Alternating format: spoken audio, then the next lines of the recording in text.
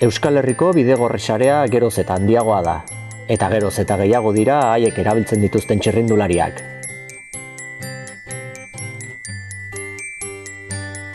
Dena den, hau bezalako bidegorrien kilometro kopuruak ez ditu gabezia batzuk eskutatzen. Eguneroko jardunean, bizikleta autoaren benetako alternatiba bihurtualizateko hainbat gauza daude hobetzeke. Agintariek batzutan bidegorriak egiten dituzte obra berri bat egin eta tartian zerripini ezakitenean. Bidegorri batzuk zuloak dauzkate, zorua txarra da, estuegiak dira, eta garrantzitsuena, elkarrekiko loturarik ez daukate. Arazo horiek zituzten hain justu duela zenbait urte gaur egun bidegorri sare eredugarria duen herbereetan. Bide honetan ikus dezakezue bizikletek nola lortu duten hirietan espazio propioa izatea.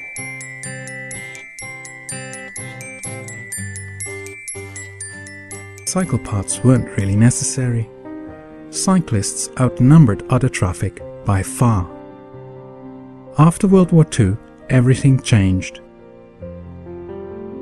The Dutch had to rebuild their country, and they became incredibly wealthy. People could now afford expensive goods, and from 1957 on especially, this led to many more cars in the streets. Streets of mostly old cities that were not built for cars. So buildings were demolished to make room for the car. Even some of the old cycling infrastructure was removed. City squares were turned into car parks. And new developments had huge roads for motorized traffic. The daily travel distance went from 3.9 kilometers in 1957 to 23.2 kilometers in 1975. But this progress came at a terrible cost. Cycling was marginalized, it decreased by 6% every year, and 3,300 lives were lost in 1971 alone. Over 400 of these deaths were children under the age of 14. The slaughter of kids caught people on the streets to protest, stop the child murder, called for safer streets for children as pedestrians and cyclists. Their calls were heard. Especially when in 1973 the first oil crisis halted the country. The then Prime Minister told the people of the Netherlands that this crisis was life changing, that they would have to change their ways and be less dependent on energy, but that that was possible without a decrease in the quality of life. Policies to encourage cycling fitted perfectly in that picture.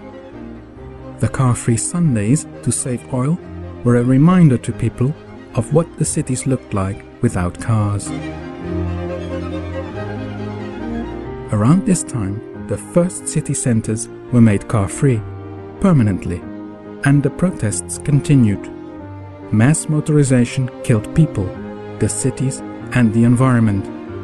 Mass cycling tours through the cities of the Netherlands and smaller protests in favor of cycling facilities created an awareness that eventually changed thinking about transport policies.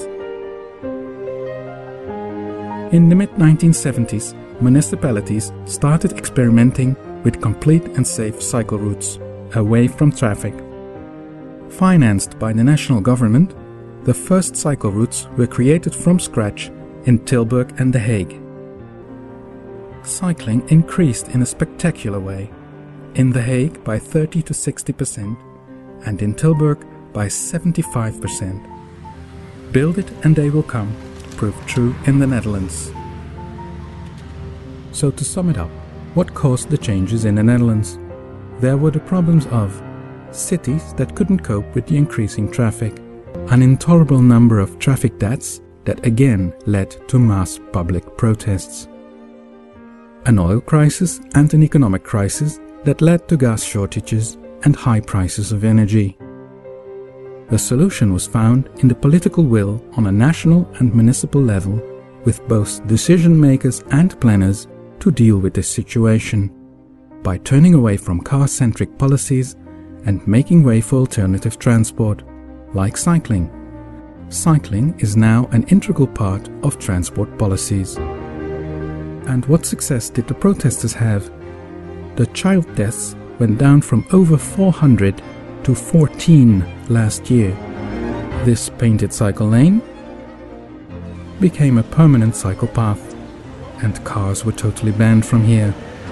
It is the now famous site of the I Amsterdam sign. Earlier, also a site of one of the mass protests. The protesters would have been a lot more comfortable lying down there today. The Netherlands' problems were and are not unique. Their solutions shouldn't be that either.